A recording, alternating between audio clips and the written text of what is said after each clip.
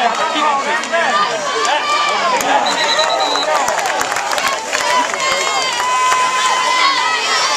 22, DeAndre James on the tackle. The knock before the Wildcats will be about five on the ground. The carry by number 10, Tamari Robinson.